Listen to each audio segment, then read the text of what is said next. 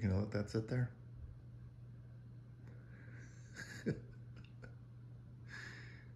yeah.